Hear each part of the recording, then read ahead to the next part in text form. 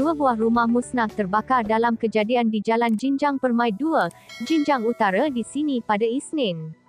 Komander Operasi Timbalan Penguasa Bomba 2, Muhammad Hasbullah Naimi Mahmud berkata, pihaknya menerusi Pusat Gerakan Operasi Kuala Lumpur menerima panggilan kira-kira jam 12.05 minit tengah hari berhubung kejadian itu.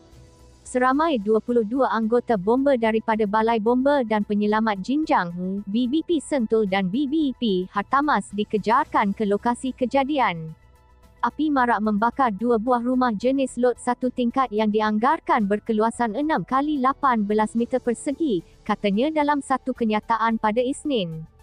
Muhammad Hasbullah berkata, anggota bomba berjaya mengawal kebakaran daripada terus merebak dengan kemusnahan kebakaran rumah pertama dianggarkan 70% manakala rumah kedua musnah 10%.